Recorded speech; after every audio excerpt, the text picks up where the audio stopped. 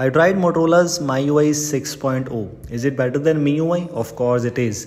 Why so? We'll talk about some of the things in this video so stay tuned and make sure to watch this video till the end previous version which was Motorola's MyUI 5.0 I made a video on that one too and this is Motorola's MyUI 6.0 both of them having Android 13 I just tried it after some time on my device as a ported ROM my device is Mi 11X it is having Xiaomi and of course it is having MIUI by default but after unlocking bootloader and installing MyUI on my device I found that this is far more better than MIUI. Why so?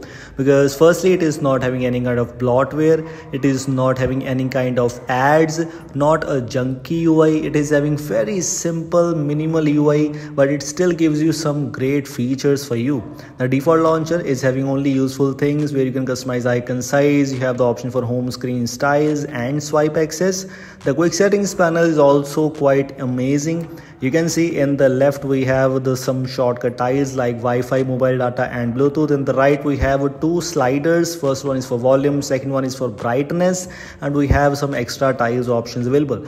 I mean it is kind of similar to MIUI too but MIUI's control, control center basically the quick settings panel is bit laggy for some of the devices. If, if you are using a mid-range Xiaomi device you will definitely feel notice. But in this case MyUI is super smooth although I have not tried Motorola's device yet but the software experience is just so amazing because it is having some useful things not useless things anywhere. In personalized section same like MIUI you have the option for theming options fonts colors icon pack same kind of things. But just like stock Android basically this is a mixture of stock Android plus MIUI. It is having stock kind of UI almost everywhere. You have the option to customize the wallpapers fonts themes etc if you move on to the wallpapers options, some static wallpapers, some live wallpapers, all the options are available here for you. If you need one of them, you can definitely give it a try.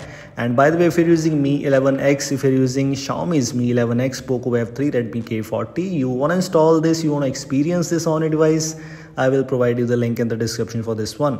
We also have some fonts options. We have icon pack customizations. By the way, in icon pack, we have the Moto's adaptive icon pack, which is basically themed icons, but it's not working perfectly fine for every app right now. But that's just literally fine. It's totally optional. You can simply use the defaults Moto's icon pack layout customization icon shape customization sound dark mode etc so all the useful things are present here it also includes this kind of system engine where you have the option to make your device more powerful, I guess. Of course, we have some tweaks available. You have the option to choose between the battery saving mode, balanced mode, and turbo. Turbo, which means more performance, so basically more CPU cores, and basically for the users or for that time, whenever you want to do gaming on a device. It might be device specific, so not going to talk much about these things it also gives you the device shield app same like MIUI. Like in MIUI you have the security app and in this case we have the device shield app. But in device shield Unlike MIUI, it is having some good options. We have the option related to anti-spam, app cloner. App cloner is also present in MIUI, but there's a major difference in MIUI's app cloner and Motorola's MyUI app cloner. What is that? For example, if I want to clone 1DM Plus, if I click once, we have one clone available. If I click twice, we have two clones available. And like this, I can make around five cloned apps for a single app. But in MIUI, you can't do that. This is a very interesting thing about about Motorola's MyUI 6.0 that you can create approximately 5 cloned apps for a single app and you can simply force clone any app and that's super useful we have the option for anti-spam etc screen time. So these are some useful features included. You can see here we have these options. The file manager is also amazing. By the way i'm using this as a ported rom so not gonna talk much about these things although everything is super amazing. The screen time options are present. You have the option for customizations for home screen lock screen and that control center which i was talking about. If you need to stock android kind of quick settings panel you have the option to enable that too. And that is one of the main major advantages of using MyUI. I found that there were there was no video regarding MyUI 6.0 on YouTube. That is why I thought that I shall make it.